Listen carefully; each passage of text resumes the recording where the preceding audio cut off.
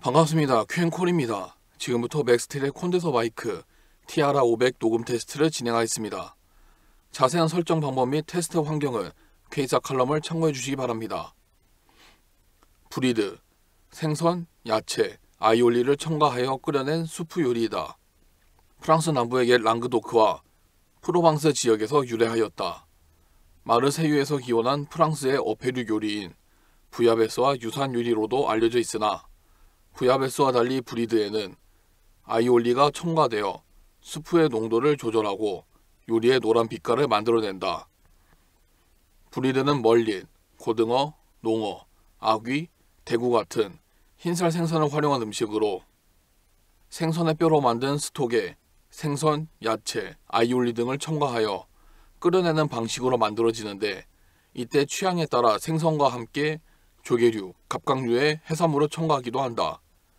큰 냄비에 올리브유를 두른 뒤 생선뼈와 양파, leek, 파슬리, 타임, 월계수잎, 후추, 회향씨를 첨가하여 잘 볶아준다. 여기에 화이트 와인을 첨가하여 약 5분간 끓여준다. 물을 첨가하여 40분간 졸인다.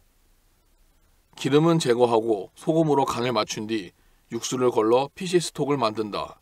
mixing bowl에 마늘, 달걀 노른자, Dijon mustard, 레몬 주스, 프랑스 원산의 고춧가루인 piment d'Espelette를 첨가하여 믹서를 작동시킨다.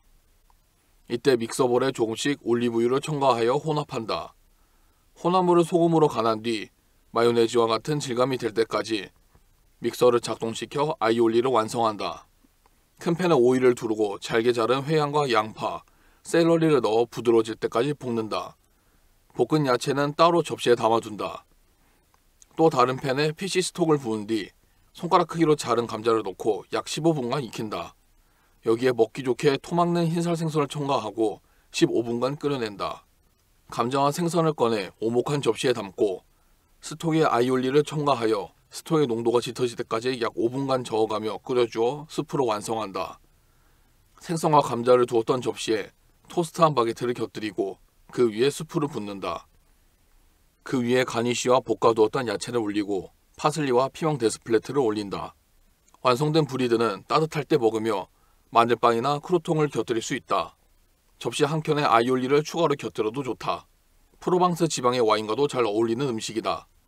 주 재료인 흰살 생선은 고단백 식품이면서도 지방과 칼로리가 적어 체중 조절 시 도움이 된다. 또한 비타민 A가 풍부하게 함유되어 있어 시력 보호에 도움을 주고 비타민 E가 함유되어 있어 노화 방지 효과 또한 가지고 있다.